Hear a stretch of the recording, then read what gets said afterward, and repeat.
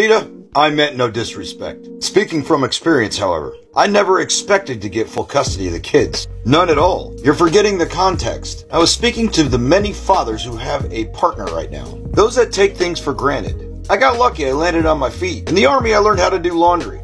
I worked in restaurants while I was in middle and high school. But here's the deal. I've mentored a lot of young men at the gym. And for four years, I ran a boot camp at my YMCA, and recruiters would send me young men and women. And I've noticed something. Most men take those things for granted. Go make me a sandwich, am I right? Women are taken for granted. And men, well, they expect to be the bread earner and little else. Well, mow the lawn, maybe.